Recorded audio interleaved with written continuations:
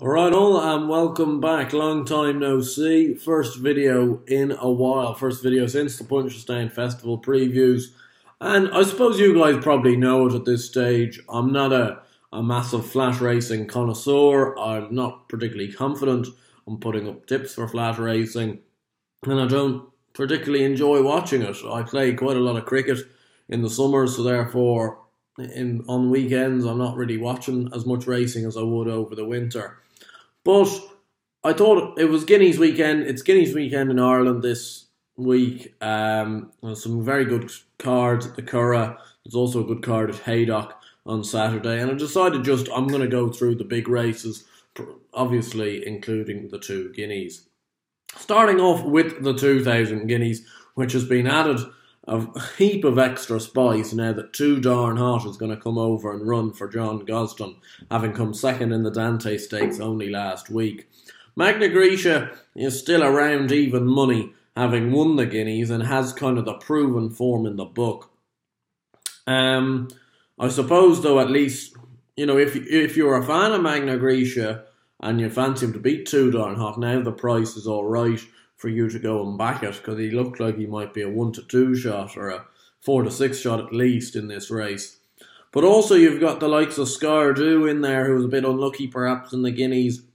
Phoenix of Spain was a very good two year old. Shelir has been very impressive for Dermot Weld. Old Glory was beat was purchased for a bloody ton, son of Frankel. So there's an awful lot going on in this race. It should be a really good and informative race uh, come the end of it. However, I just can't get past Too Darn Hot in this race. And I didn't think I'd say this, but after Dewhurst last year, because I was kind of against him for the majority of his two year old campaign, but after the Dewhurst, I was just so taken aback by it.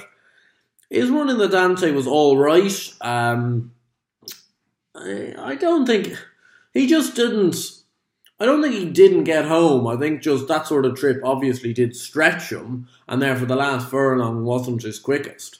And Telecaster is a stout stayer. I think Telecaster is probably a mile four horse. Too Darn Hot's probably a mile horse, and they ran over a mile two. So I think Too Darn Hot here. I don't know about that Guineas form. I would be much. I would much prefer to keep backing the horses on the other side to be honest. So Skardu was third, Moon fourth, Ten Sovereigns fifth. I think they could be the three horses to take out of that Guineas this year. Magna Grecia was good, but I couldn't be backing him at anything like even money.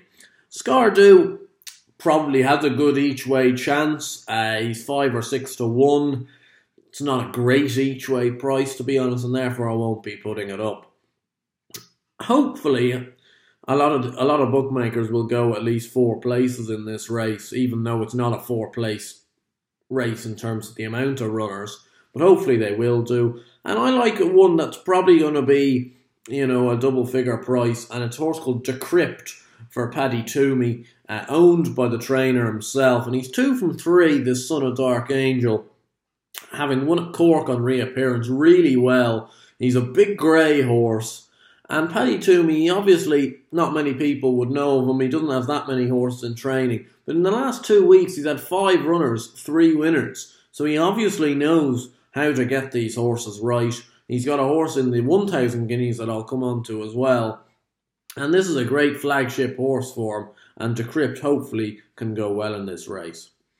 The other races, we don't have the full um, declarations in for yet, so it's going to be a lot harder in the Lanwades, Lanwad stud stakes. Gee, that's probably terribly pronounced. But anyway, that, that race, I Can Fly, if it runs, I think will win. Uh, she ran a nice race in the Lockinge last week, but will she come and run again? I'm not so sure. And if she wasn't running, Yulong Gold Fairy probably is the answer. The Greenland Stakes is a tough group two uh, over six furlongs. St. Patrick's Day was a very odd horse last year. He never really got it together.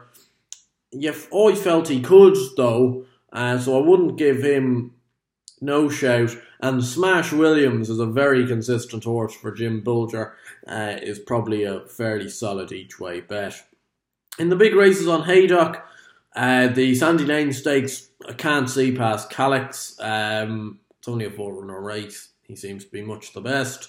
The Temple Stakes, I have always been a massive fan of Battaash. I just love, um, as I say, there's not that much about flat racing that would get me kind of giddy, but those seriously fast horses, like if you can't get excited by them, you're in the wrong game, to be honest. And Battaash is an absolute speeder. Um, wasn't at his best last year, so hopefully, I saw an I saw an interview with Charlie Hills. I think it was last week, saying that they thought he was back to his best, and hopefully he is, because he's a wonder horse when he gets going. And in the what's it called now? The Britain Stallion Stud Cecil Frail uh, listed race. I think there's a horse for William Haggas here called Island of Life, who's been very consistent. And also Aidan Fogarty, an Irish trainer, sends over Forever in Dreams, who was a smart French horse as a two-year-old, ran quite well on a stable start last time out, and hopefully will come forward for that.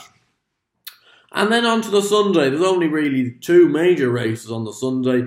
Uh, the 1,000 Guineas. Hermosa, obviously the winner of the 1,000 Guineas, is favourite. I don't think I'd be backing him, backing her to be honest. I think there's much uh, better prices in there.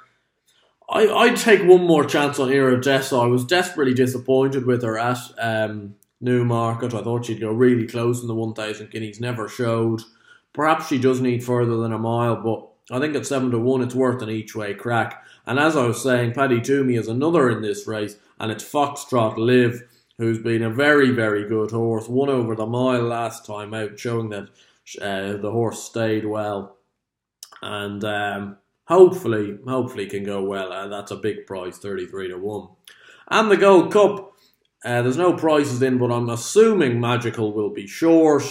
Uh, I don't know what other O'Brien horse is going to run against them or against her even. Uh, but if Magic Wand turned up, uh, Magic Wand's a, a good horse in her own right. Was third over in America last time out in the Man of War, which was a tricky enough race. So she could go close to giving Magical a bit of a scare. The only other one at the Curragh on the Sunday I would just pay attention to is the two mile Boodles handicap I do quite like the staying flat handicaps because there's so many um, jump sources in it.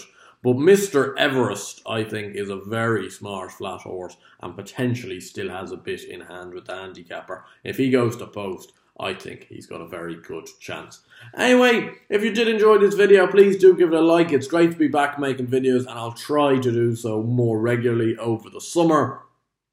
Uh, do give it a like, subscribe to the channel down below, and of course, give me what you feel about these Guineas races. Do you think Magna Grecia is now overpriced because of Too Darn Hot's inclusion, or like me, do you think Too Darn Hot is just too darn good? Let me know.